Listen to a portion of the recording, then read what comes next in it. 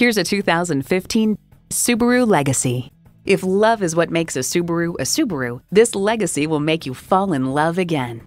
A great vehicle is comprised of great features like these auto dimming rear view mirror, wireless phone connectivity, dual zone climate control, streaming audio, H4 engine, front heated bucket seats, selective service internet access, external memory control, express open and close sliding and tilting sunroof, four wheel drive, and continuously variable automatic transmission.